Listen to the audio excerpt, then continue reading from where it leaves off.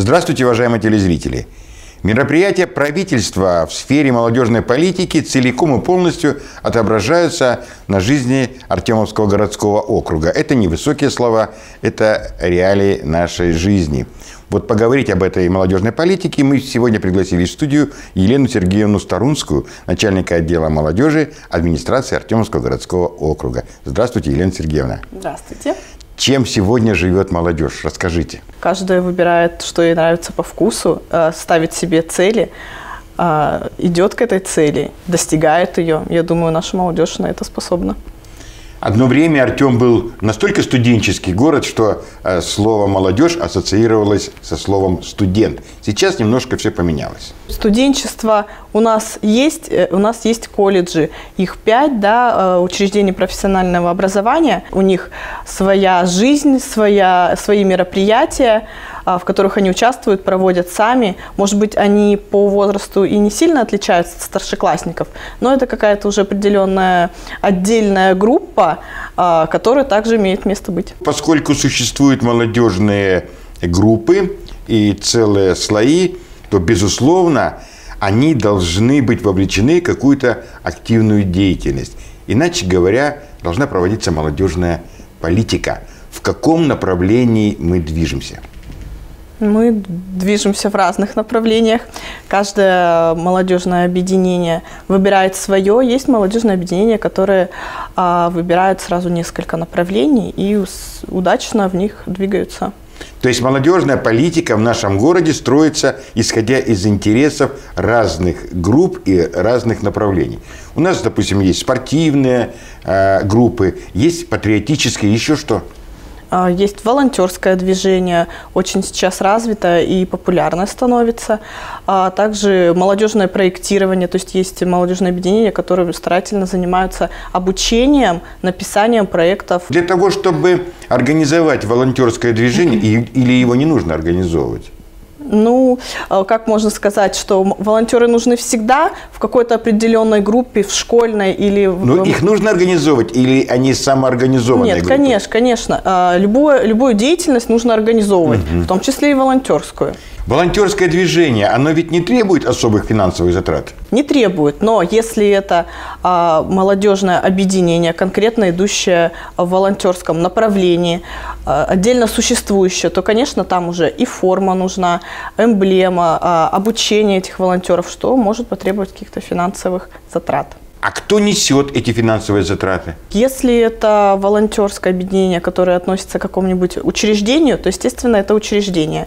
А, если это идет речь об обучении, у нас на территории а, Приморского края проходят различные форумы, на которые могут бесплатно Э, представители муниципальных образований, волонтерских объединений принять участие. И все российские, если они все проявили хорошо. То есть волонтером стать не так-то просто. Нужно сначала этому научиться.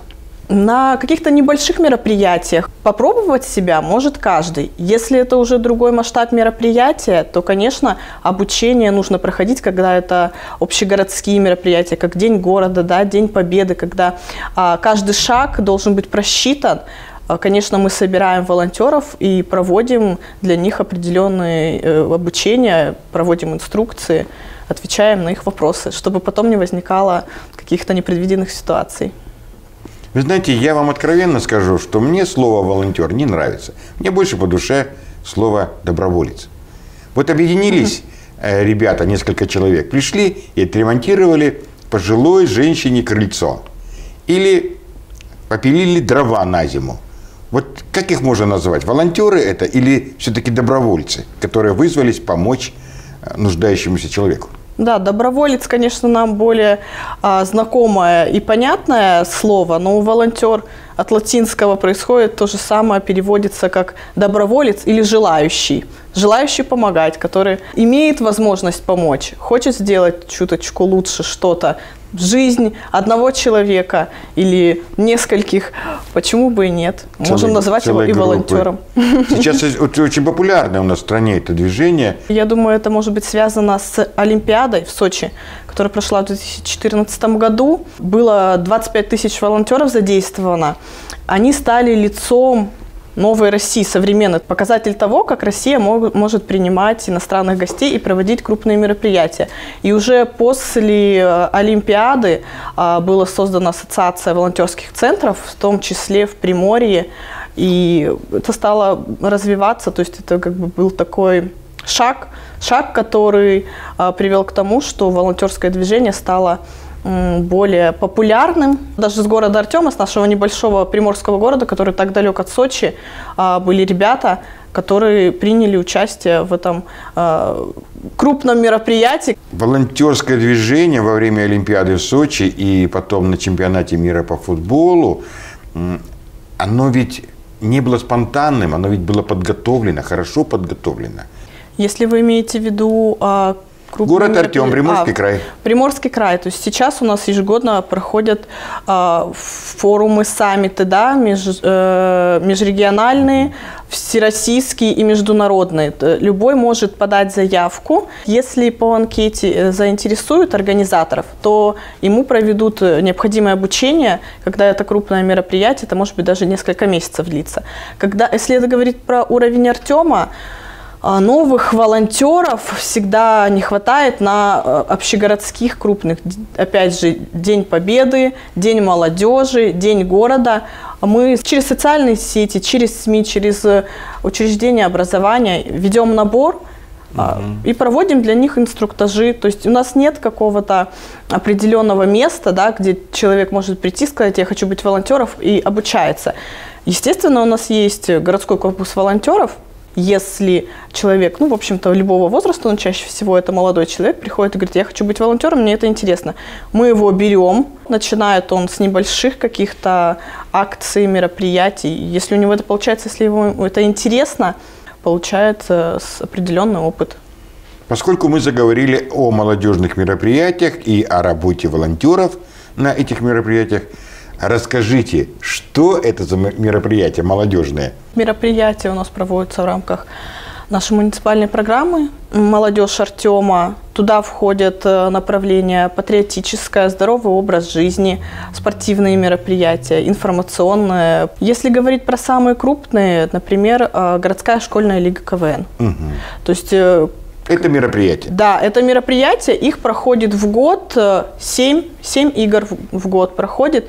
То есть э, и большое количество молодых людей задействовано, и большое количество становится зрителями. Когда у нас проходит э, кубок главы, у нас приезжают э, со всего Приморья команды. В этом году 21 команда. Конечно, День молодежи, нельзя о нем не сказать, говоря да, про молодежную политику.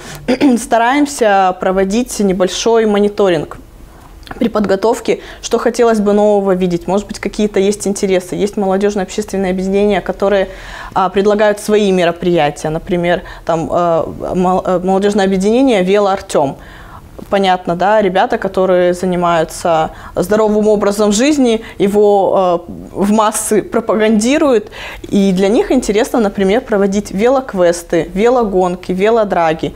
Почему бы и нет? Есть интерес, есть предложение провести, мы им помогаем в этом плане. Также запрашиваем, что интересно другим молодежным объединениям. Кто-то считает, что интересно провести квест по всему городу Артему. Уже второй год у нас проходит квест именно летом объединяются э, команды. Это может быть просто группа друзей, это может быть э, команда, представляющая одну школу или молодежное объединение. Для них готовятся интересные конкурсные задания. Кто да. принимает участие в этих мероприятиях?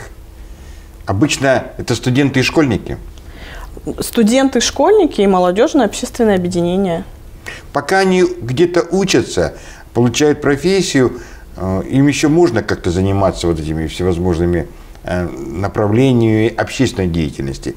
А, предположим, молодой человек уже закончил учебное заведение, обзавелся семьей, у него возникают совершенно другие проблемы.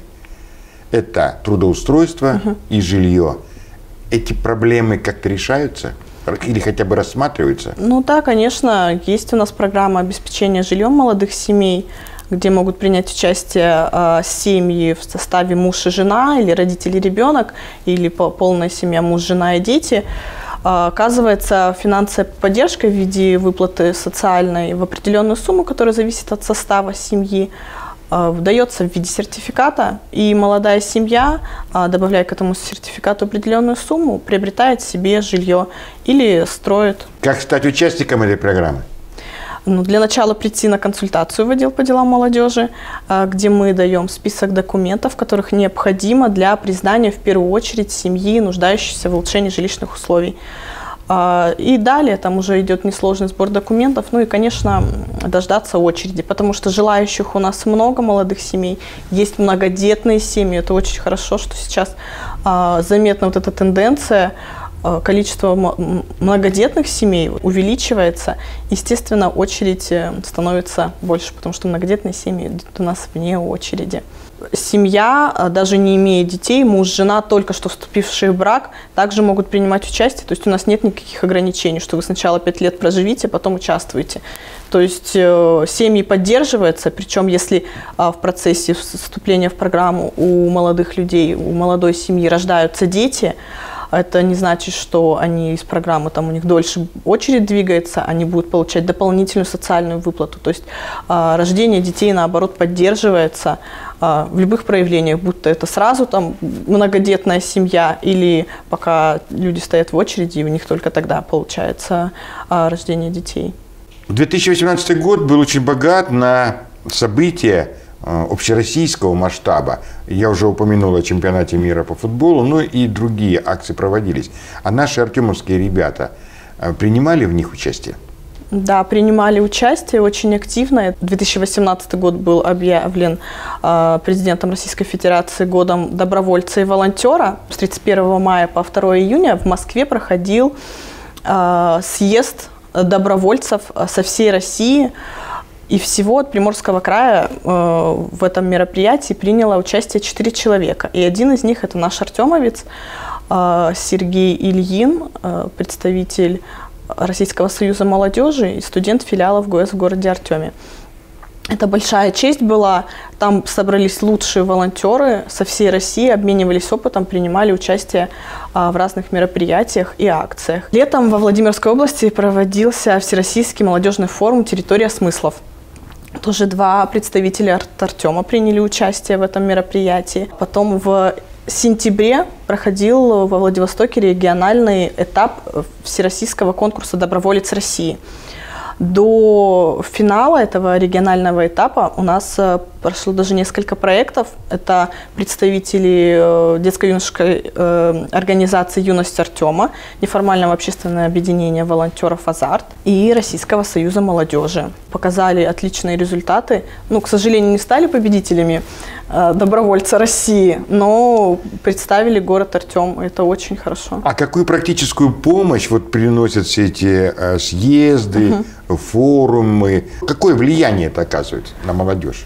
А, Проход... Я понимаю, когда мы готовимся э, к конкурсу WorldSkill, да, когда наши молодые uh-huh. ребята э, рабочих профессий принимают участие, они показывают свое мастерство. А вот те, которые принимают участие в форумах, что показывают? Обучение, которое они проходят, э, они могут его донести до артемовцев остальных. То есть обучился студент, он пришел и может проводить семинары, тренинги для а, своих Они проводят? Конечно, конечно. Прошло обучение а, волонтеров по профилактике наркомании.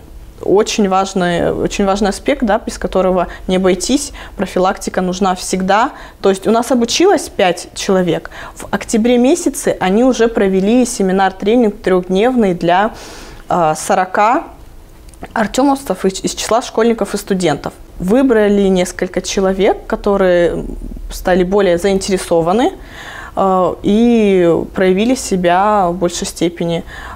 Стали обучение с ними проводить. То есть еще несколько семинаров с ними, и они уже самостоятельно смогли проводить семинары и тренинги для учреждений профобразования, в школе провели и в детском доме. А по поводу Old Skills что-нибудь можете сказать?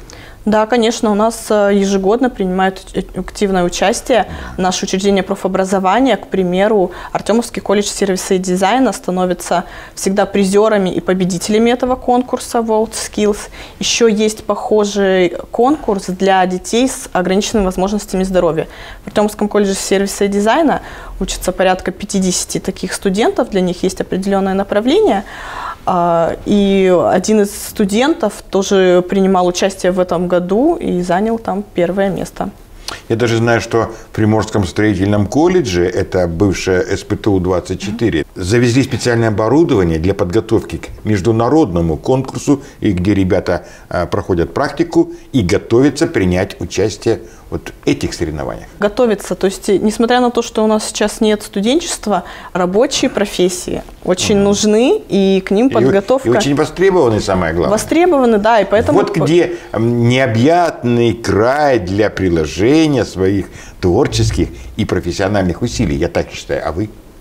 Конечно, потому что если э, направлять их только на обучение, да, что они должны э, посещать лекции, они должны сдавать экзамены. Это очень хорошо, замечательно, если они учатся на пятерке. Но если они не проявляют э, каких-то творческих способностей, не проявляют инициативу в изучении этого, и у них нет подпитки, то есть они не участвуют в конкурсах, не чувствуют то, что у них идет продвижение, прогресс в их э, обучении, в их деятельности, то, может быть, у них не, не будет желания дальше по этой профессии работать. Получить корочку – это одно, а полностью понять, что ты уже хочешь в этой профессии трудиться, развиваться – это уже совсем другое. А главное, если не будет эффекта от их деятельности, тогда можно сказать, что они э, сработали впустую. У нас на э, нашем э, телеканале Артем ТВ есть молодежная программа, которая называется «Поколение Next». На мой взгляд, за 10 лет своей работы ребята столько много сделали для профилактики правонарушений, для профилактики противодействия наркомании, для профилактики здорового образа жизни, как ни одно общественное объединение не сделало. Это мое мнение. А вы как оцениваете? Да, конечно, потому что вовлечение а, молодых людей в принципе вот в эту деятельность, да, я имею в виду, что они работают на молодежной передаче поколения Next и как журналисты, а, где-то их допускают до а, монтажа и видеооператорами не бывают. Это, во-первых, их очень развивает, развивает их творческие навыки и с какой-то стороны профессиональные, потому что набираясь опытом, даже побыв э, корреспондентов несколько лет, э, очень хорошо развивается и речь, э, голова думает совсем по-другому, да, и, естественно, освещая разные мероприятия, различные направленности, они сами приобщаются к этим мероприятиям и освещают их, э, что вызывает интерес у ребят, которые еще когда-то там, например, не думали о том, что им может быть интересно заниматься там КВНом или им интересно было бы поучаствовать в конкурсе непрофессиональных танцоров, а увидев, что это могут простые ребята быть, что нет какого-то там жесткого отбора, а, телезритель может задуматься, может быть, и мне тоже попробовать. Поэтому это, конечно, несет положительный эффект. Ну и, конечно, нельзя не сказать о том, что э, ребята, выпустившиеся, как сказать, да, из поколения Next, добиваются больших успехов на телевидении, работе СМИ, а, в пиаре, то есть э, это и корреспонденты. Нашли себя да. в этой жизни нашли себя. Возможно, если бы они не попали на эту передачу «Поколение Next», они бы ушли совершенно в другую профессию, и непонятно, добивались бы они там успеха, и приносили, э, приносила ли им бы столько удовольствия их деятельность, как приносит сейчас, что мы можем наблюдать. Может быть, и добивались бы, может быть, и приносила бы успех их другая невыбранная профессия, но это были бы уже совершенно другие молодые люди. А мне кажется, что чем бы молодежь не занималась, лишь бы это шло на пользу себе и обществу. На этом я с вами прощаюсь. Всего доброго, до свидания, до новых встреч в эфире. Это была Елена Сергеевна Старунская, начальник отдела молодежи администрации Артемовского городского округа.